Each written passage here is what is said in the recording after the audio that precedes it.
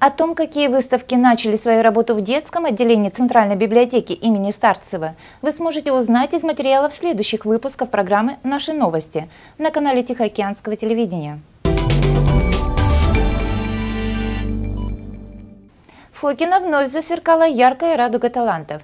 3 апреля в Доме детского творчества открылась краевая выставка декоративно-прикладного творчества. Экспозиция насчитывает более полутора тысяч работ из 55 населенных пунктов Приморского края.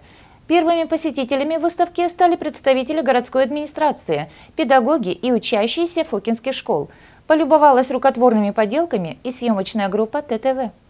Четвертый год подряд в разгар весны Фокинский дом детского творчества становится центром притяжения для всех ценителей красоты, почитателей детского творчества. Здесь проходит краевая выставка-конкурс декоративных работ ребят в возрасте от 6 до 18 лет. Участники выставки – школьники, воспитанники домов детского творчества краевых учреждений для детей-сирот. В этом году свои поделки представили 1300 ребят из 19 муниципальных образований края. Замечательные, замечательные работы.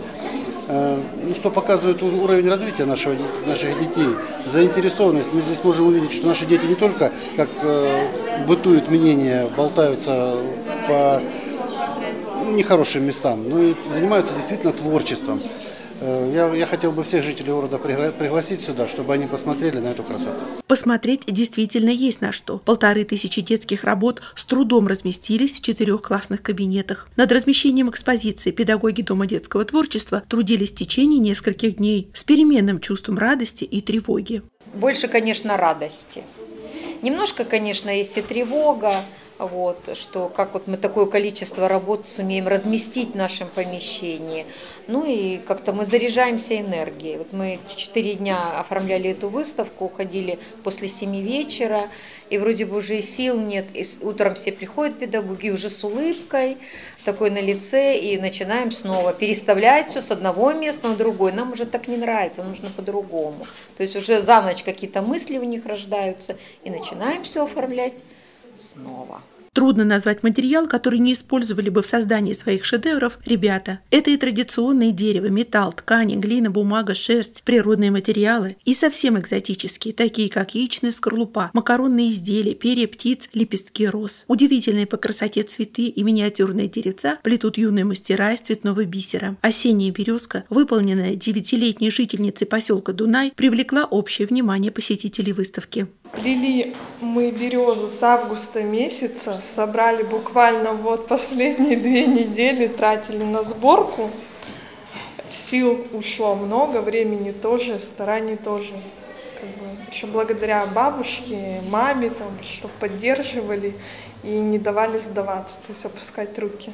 На создание полутораметрового деревца ушло около одного килограмма бисера. Для реализации эксклюзивного проекта его автору потребовалось немало усидчивости и терпения. Я очень долго старалась. У меня иногда что-то не, что не получалось. Мне приходилось переделывать что-то. Что-то где-то при, приходилось, где-то вообще... Э, Вообще где-то приду, э, надо было думать, как набирать, как делать вот это. Надо было очень много бисера брать и набирать петельки, там я делала по инструкции, по книгам делала, следовала. У меня там были книги, я читала, как делать и набирала. Первыми посетителями выставки стали ученики фокинских школ. Ребята пришли посмотреть на работы своих сверстников, друзей одноклассников. Рукотворные шедевры никого из гостей выставки не оставляли равнодушными. Мне очень понравились все работы, особенно понравилась работа, вышитая из бисера моей одноклассницы. И все работы очень хорошие. Мне больше всего понравились танки. И все. Здесь столько много таких красивых работ, я даже не знаю, как их делаю, то есть так интересно, так красиво все рассматривать. Мы не первый год приходим на эту выставку, и с каждым годом нас все больше и больше удивляют масштабы выставки, изумительные работы. И после посещения замечательных залов мы приходим в класс, на следующий день ребята пишут сочинения о том, что они увидели, что им понравилось, и создают почти такие же замечательные работы на уроках технологии, на уроках ИЗО, и сами дома творят, и приносят потом, вкладывают в свое портфолио, приносят, показывают, делятся с ребятами.